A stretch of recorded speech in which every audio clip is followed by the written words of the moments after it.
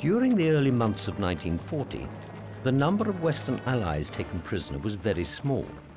But after the invasion of the Low Countries and France in May and June, German armies began to take Western prisoners in much greater numbers. By November 1940, thousands of French, Dutch and Belgian troops were being held behind barbed wire along with 44,000 British POWs.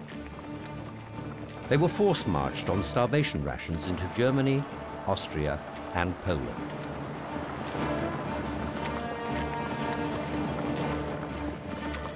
On arriving in Germany, the new prisoners were sent to dulags or transit camps.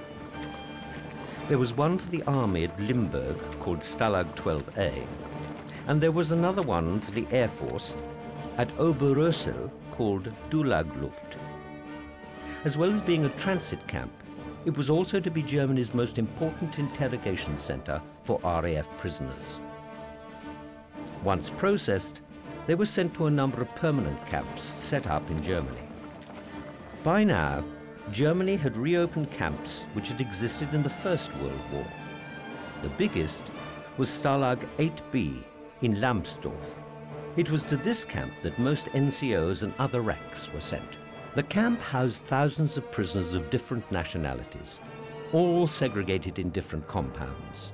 The only chance these men had to meet was when the camp held what was known as a red letter day, when the guards would open the gates of each of the inner compounds and allow the men to mix freely.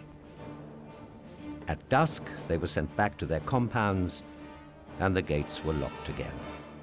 The other occasion when they could mix was on working parties.